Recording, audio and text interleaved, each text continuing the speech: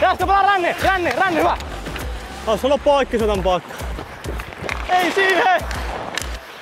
Tuli kiekko päähän. Tosiaan poletaan ihan päätyy asti, että, että ihan sinne maksimitasolle, mitä sinä päivänä irtoaa, niin sinne mennään. Ja Kaikki sieltä vaan, kaikki vaan. Paina, paina, paina, paina. Vielä nosta viimeinen no- nousu, viimeinen nousu. Muista tilata uusi Liiga Läpimurto YouTube-kanava ja saat aina ensimmäisten joukossa tiedon uudesta jaksosta. Tässä jaksossa pääsemme näkemään, miten Kasper Puutio suoriutuu pyörätestissä. Lisäksi Topi Niemelä mikitetään treeneihin ja jakson lopussa Red Bull läpimurto haastekisaan osallistuu TPS-puolustaja Ruben Rafkin. Tervetuloa mukaan! Oulun kärpissä pelaaja testataan monilla eri tavoilla ja yksi testeistä on pyörätesti.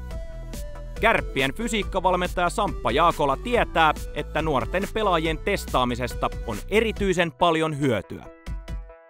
nuorten kanssa niin se testaaminen on tosiaan niin oikeastaan vielä niin mun mielestä erityisen tärkeää. Että, että tota, no niin, siinä mielessä, että, että nähdään, miten asia etenee ja myöskin sitten semmoinen tietynlainen maltillisuus, josta ollaan niin yhteistyössä kartalla, missä ollaan menossa ja pikkuhiljaa viedään tuota, no niin, hommaa eteenpäin ja, ja, ja tavallaan semmoinen edistyminen, mutta sitten myöskin semmoinen, että, että ne on kuitenkin kohtuu vasta alkanut semmoista kovempaa voimaa tekemään, niin, niin, niin senkin kanssa pitää tietynlainen maltti olla. Olla ja siinä on tosi, tosiaan hyvä ja tärkeäkin niin olla kartalla ja sitten myöskin samalla päästään siihen terveyspuoleen kiinni, että tehdään puhtaasti, tehdään niin, että tuota, no, niin siellä palikat säilyy kunnossa, niin, niin, niin se on, se on niin tärkeää. viimeksi oli ihan, ihan ok tulosta. Nyt tietenkin lähdetään parantamaan, mutta uskon, että mä oon tehnyt hyvin, hyvin hommia, niin mä uskon kyllä, että mulla on hyvät chanssit parantaa sitä tulosta. Pyörätessä otetaan laktaatit, saadaan tarkemmat arvot noista kynnyksistä, aerobista kynnyksistä, anaerobista kynnyksistä ja myöskin, myöskin sitten pyörätesti on tosiaan poletaan ihan päätyy asti, että, että ihan sinne maksimitasolle, mitä sinä päivänä irtoaa, niin sinne mennään ja tiedetään sitten millä tavalla voi harjoitella ja parantaa esimerkiksi aerobista kuntoa. Mittaaminen tapahtuu sykemittarin avulla ja sitten meillä on tämä laktaattimittari, eli otetaan sitten veren maitohappotaso siinä välillä. Hyvä Kasper, taistellaan, taistellaan. Sovittu protokolla, millä tehdään, ja se on oikeastaan semmoista, että me enemmän yritetään tässä katsoa semmoista tarkkuutta harjoitteluun ja opastukseen kuin se, että mikä on lopullinen maksimaalinen taso. Nähdään mitä kentällä tapahtuu ja tietää mitä pyörätestissä pystyy tekemään, niin sitten pystytään opastamaan oikeita asio- asioita. Puolitoista minuuttia kahteen seitsemään.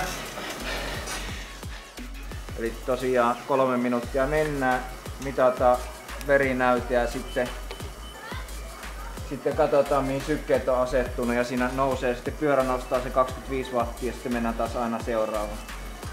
Joka ikiselle pelaajalle on sama testi, vaikka painot on eri, mutta tarkoitus on kuitenkin se, että me annetaan, annetaan oikeanlaisia ohjeita, ohjeita ja pystytään viemään pelaaja yksilönä eteenpäin.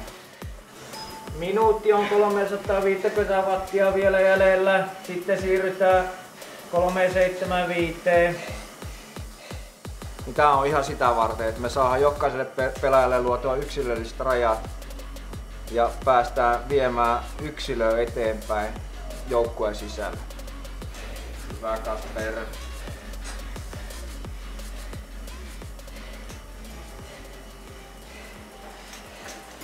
Loistavaa. Otetaan kaikki sieltä irti. Tarvii taas taistella. 27 on nyt takana. Loistava, loistava. Nyt tulee 375 siihen. Pian vaan, pian vaan, pian vaan. Puoli minuuttia on taas mennyt. Painetaan ihan tässä loppuun. Kaksi ja puoli minuuttia 30. Vielä vaan piat päällä. Hyvä. Taas meni 15 sekuntia. Kohta on 28 täynnä. Hyvä. 28 on täynnä. 2 minuuttia 30. Sinne mennään. Mä nosta pikkusen kierroksia, nosta kierroksia, älä päästä sitä alemmas. Hyvä, pidä siinä. Nyt meni taas 15 sektoa, loistavaa. Hyvä Kasper. Loistavaa. Loistavaa työtä. Vielä jaksaa, vielä jaksaa, vielä jaksaa. Viimeinen minuutti, viimeinen ylämäki. Hyvä, puskee, puskee, puskee, puskee. Kaikki sieltä vaan, kaikki vaan. Paina, paina, paina, paina. Vielä nosta, viimeinen no, nousu, viimeinen nousu. Loistavaa, anna vaan vielä mennä, anna vaan vielä mennä. Vielä menee kymmenen. Hyvä, nyt on 30 minuuttia täynnä. Jatka vaan, jatka vaan. Hyvältä näyttää. Hyvä kampi. Aivan loistavaa tekemistä. Hyvä, nyt riittää. Yes.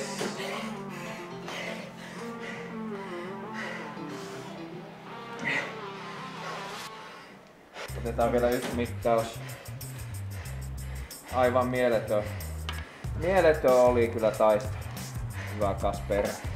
Testitulosten perusteella sitten, sitten tota, puhutaanko voimatestistä tai, tai sitten peruskestävyystestistä tai muusta, muusta tota, no, niin, niin, niin, sitten niiden tietojen perusteella niin joko, joko lähdetään sitten ohjelmoimaan harjoittelua henkilökohtaisesti tai todetaan, että heitä on riittävällä tasolla ja ei periaatteessa enää tarvitse siihen niin keskittyä enää siihen ominaisuuteen, vaan voi mennä, mennä tota, vähän keskittyä muihin asioihin sitten tuolla harjoittelussa. Tosi hyvä testi sille, että on rehellinen, rehellinen nimenomaan niin hyvin, hyvin yksilöllinen testi. Tämä on jokaiselle niin kuin tosi hyvä työkalu nimenomaan se, että ja, ja kun on paljon vuosien verralla tätä tehnyt, niin heillä on myös niin kuin paljon faktatietoa taustalla ja silloin sitä kautta se on myös paljon uskottavammin meille pelaajille, kun meitä ohjeistetaan tämän perusteella tekee, tekee arkeen duunia, niin sitten just kun tässä on paljon faktatietoa pohjalla, niin se auttaa siihen, että se menee paremmin meille pelaajille perillekin ja saa sitä kautta itse lisää tehoja irti harjoittelusta. Nimenomaan kun kaikki tekee kuitenkin itseänsä varten tätä, mutta sitten samalla se näkee, kun kaverit vettää hyviä tuloksia ja siinä kyllä itse pitää pistää miettimään, että kyllä mä haluan vetää paremmin kuin se kaveri sinne vieressä.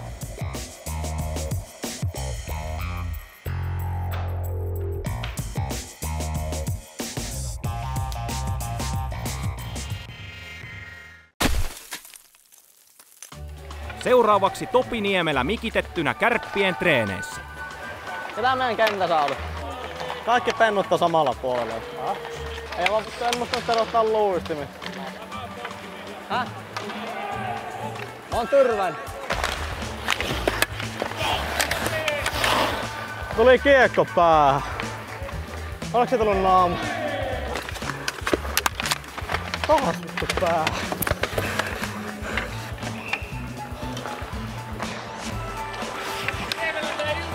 Oh, hiljaa.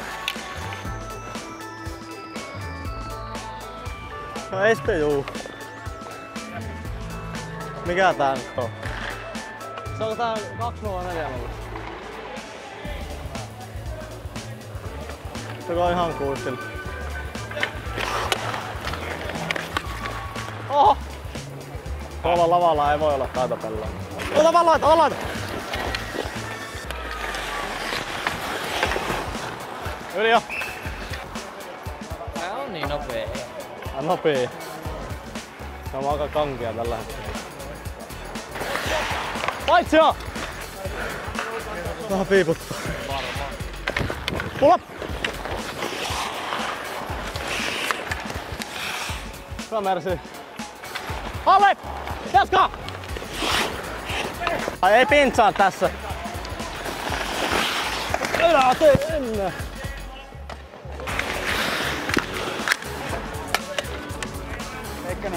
No en, löytää loppua sen maassa. Fuck it! Mene jo.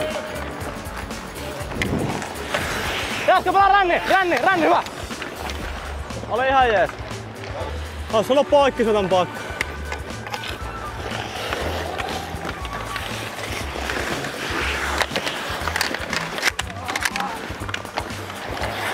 Tänne! Kävi kipiä jolla. Ei siihen! Vähän koppa. Aki, saako juomapullo?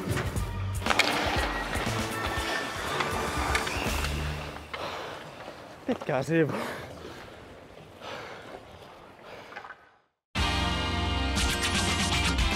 Tämä on neljän lajin Red Bull läpimurtohaastekisa. TPSn puolustaja Ruben Rafkin pääsee neljäntenä läpimurtopelaajana näyttämään omaa osaamistaan haastekisassa. Kärkitulos on tällä hetkellä Topiniemelän nimissä. Maalissa on neljä kohdetta. Pelaajan täytyy osua jokaiseen ja suoritus alkaa ensimmäisestä laukauksesta. Pisteet vähenevät aina kuuden sekunnin välein ja kello pysähtyy, kun jokaiseen maalitauluun on osuttu. Näin on Ruben Rafkin valmiina neljäs tämän kauden läpimurtopelaajista Red Bull läpimurtohaaste kisassa. Sieltä viuhuu laukauksia, pari osumaa jo tolppaan. Pisteet vähenevät, kun kello tikittää alaspäin. Ensimmäinen taulu alas vasemmasta alakulmasta, sitten on vielä oikea alakulma ja yläkulmat jäljellä. No Ruben, miksi ei lähde? Jälleen vähenee pisteet, kun aika loppuu yläriman kautta sisään. Sitä ei kuitenkaan tässä kilpailumuodossa lasketa. Hyviä laukauksia, vähemmän hyviä, jälleen yläriman kautta, mutta hei, Ruben edelleen pitäisi osua sinne kulmiin. Kovaa hakemista ja jälleen vaikuttaa vähän siltä, että Rubenille pitäisi hakea uusi kiekkoämpäri. Sieltä haetaan jo lämäriä. Ei ihan lähtenyt. Ei nyt, nyt ei kyllä ole kohde, kohde ihan hakusessa. Sieltä vähän erilaista tyyliä. Lätyllä haetaan alakulmia. Valitettavasti aika loppuu ja tarkkuuslaukauskisasta ei Rafkinille pisteitä tule. Pujottelussa pelaajat saavat silmilleen näkökenttää supistavat lasit. Pujoteltavana on edestakaisin kuusi kiekkoa ja jokaisesta virheestä kelloon lisätään kaksi sekuntia. Kymmenen sekunnin jälkeen pisteet alkavat pudota kahden ja puolen sekunnin välein. Edellisessä jaksossa Mikko Petmanilla loppui tässä osuudessa aika kesken. Nyt nähdään mikä on Ruben Rafkinin vastaus. Puolet radasta tulee kyllä erittäin pehmeästi ja puhtaasti ilman virheitä. Sitten nyt toiseen suuntaan. Vasen, eikö oikee, oikee? Edessä päin niin kuin Emil Viro siellä huutelee. No. Siitä otetaan väärä kiekko mukaan. Ja virheitä ropisee tauluun ja siitä kaksi pistettä. Hieno suoritus. Alku oli hyvä. Sitten piti kääntyä. Sit... Pelaajalla on kolme yritystä laukoa siniviivalta maaliviivalle asetetut kymmenen tölkkiä kumoon. Pistekaava on selkeä. Jokaisesta kaadetusta tölkistä saa yhden pisteen. Maaliviivalla 10 tölkkiä ja Rafkinilla, kuten muillakin läpimurtopelailla, kolme laukausta. Ensimmäinen laukaus ohi, toinen laukaus kauttaa yhden tölkin ja sitten vielä kolmas. Ainoastaan yksi piste. Yhteensä kolme pistettä. Pelaaja nostaa pakasta sattumanvaraisen pelivälineen. Pakasta saaduilla pelivälineillä tulee laukoa neljältä eri aloituspisteeltä ja pisteen saa jokaisesta tehdystä maalista. Nostetut kortit määrittelevät laukaisujärjestyksen ja sen, millä välineellä lauataan. Täällä on vähän paremmin. Onks mitään suosituksia? Kyllä mä ottaisin tosta keskeltä. Pingismaila. Se lähti nyt kiekko. Bonus round. Maila ilman lapaa. Joo, se oli aika hyvä. Minimaila. Pesismaila. Kama, parhaimmat highlights. Mulla on toi minimaila vielä tuolta kaukana. Ai, niin, niin onkin. Neljäs ja viimeinen laji Ruben Rafkinille. Neljä pistettä riittäisi tasapisteisiin Mikko Petmanin kanssa. Mukavasti sieltä Rafkin leipoo ja leipoo tyylikkään maalin. Rikkinäinen maila ja ai ai ai keskelle maaliin.